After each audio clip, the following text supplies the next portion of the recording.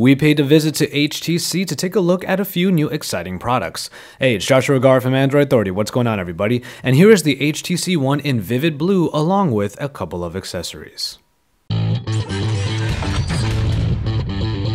First, we'll look at the HTC Fetch. It's a very simple device and thus there isn't a whole lot to say, as it's basically a dongle you put on your keyring that allows you to easily locate your keys if you lost them or your phone if it is misplaced. It pairs with your phone and if you need to find your keys it will beep when prompted by your phone. The other way actually works as well. Now this is a very interesting peripheral called the Mini Plus. It's a throwback to what our phones are going to look like if the smartphone was never created, really.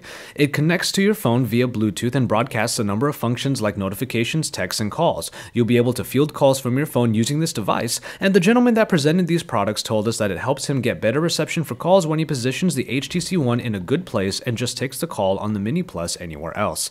A clever way to use it. It comes with a IR blaster for your TV as well, further making it an HTC One companion that you can use often on its own. And so, here is the HTC One in its newest color.